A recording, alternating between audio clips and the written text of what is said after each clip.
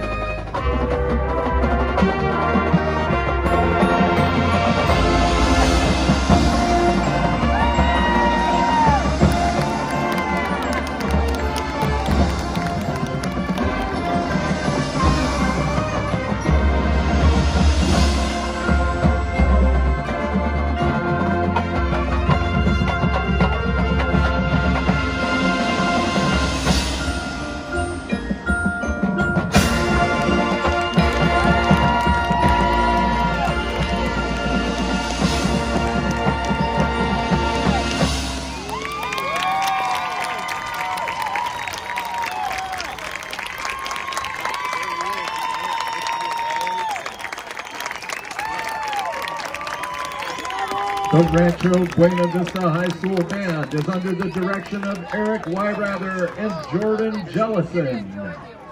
The musical selections included Rachmaninoff's Piano Concerto No. 2 and Eric Carmen's anthem All By Myself. Music written by Don Barrett, drill written by James Gow. RBV would like to thank their wonderful boosters and parent volunteers for working tirelessly.